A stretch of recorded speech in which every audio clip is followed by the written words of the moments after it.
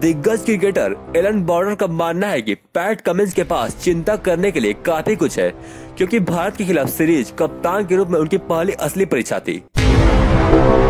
इस प्रक्रिया में दिल्ली में दूसरे टेस्ट में उन्होंने काफ़ी कम गेंदबाजी की।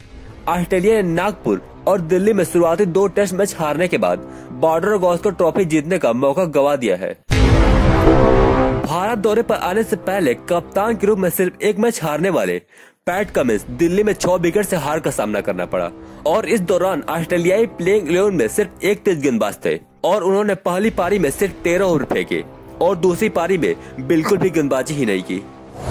एलन बॉर्डर ने पैट कमिंस के कम गेंदबाजी करने पर टिप्पणी करते हुए कहा, मुझे लगता है कि पैट कमिंस ने उस टेस्ट मैच में खुद से बहुत कम गेंदबाजी करवाई। ऐसे मौके थे जब हम भटकने लगते थे, खासकर भारत की पहली पारी में, जब हमने उन्हें एक अच्छी साझेदारी बनाने का मौका दिया।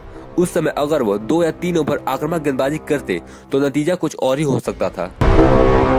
उस मैच में ऑस्ट्रेलिया ने भारत का स्कोर सात विकेट पर एक सौ उनतालीस रन कर दिया था, लेकिन अक्षर पटेल और अश्विन ने 114 रनों की साझेदारी की, जिससे मेजबान टीम ने अपने स्कोर को मेहमान टीम के स्कोर से एक रनों तक कम तक पहुँचा दिया था।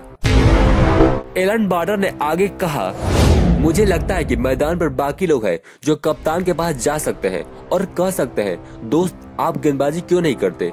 लेकिन मुझे लगता है कि एक कप्तान के रूप में पैट कमिंस की पहली वास्तविक परीक्षा है। बाकी सब आसान रहा।